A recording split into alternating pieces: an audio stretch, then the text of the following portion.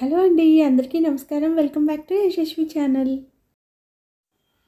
ఈరోజు ఈ వీడియోలో ఎలాంటి ఉల్లిపాయ వెల్లుల్లి మసాలా లేకుండా వంకాయ ఆలు బఠానీ కర్రీ రెసిపీని షేర్ చేస్తాను.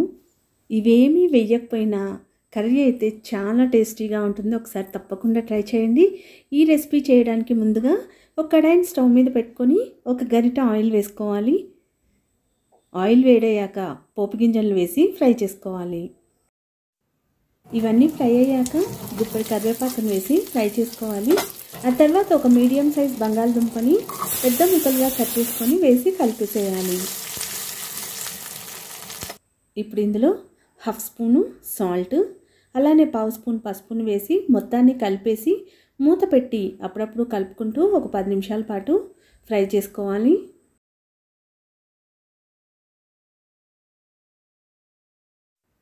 టెన్ మినిట్స్ తర్వాత కర్రీని మొత్తం ఒకసారి కలిపేసుకొని కట్ చేసుకున్న టూ హండ్రెడ్ గ్రామ్స్ వంకాయ ముక్కల్ని వేసి మొత్తాన్ని ఒకసారి కలుపుకొని మూత పెట్టి అప్పుడప్పుడు కలుపుకుంటూ ఒక ఐదు నిమిషాల పాటు ఫ్రై చేసుకోవాలి.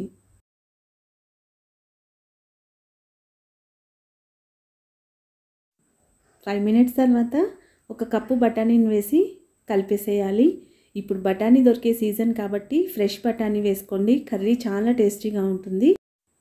ఇవన్నీ ఫ్రై అయ్యే లోపల ఈ కర్రీ కోసం ఒక కారాన్ని ప్రిపేర్ చేసుకుందాము. దానికోసం ఒక మిక్సీ జార్ని తీసుకొని ఒక స్పూను జీలకర్రని వేసుకోవాలి. అలానే ఒక పది పన్నెండు పచ్చిమిరపకాయలు మీరు తినే కారాన్ని బట్టి వేసుకోండి.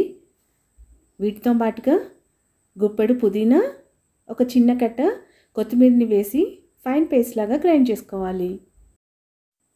కూర సగం ఫ్రై అయ్యాక మూతను తీసి మీడియం ఫ్లేమ్లో ఒక ఐదు నిమిషాల పాటు ఫ్రై చేసుకోవాలి. ఈ కర్రీ మొత్తం ఇలా బాగా ఫ్రై అయ్యాక ఇందాక గ్రైండ్ చేసి పెట్టుకున్న కారాన్ని వేసేసి మొత్తాన్ని ఒకసారి కలుపుకొని సిమ్లో ఐదు నిమిషాల పాటు ఫ్రై చేసుకోవాలి.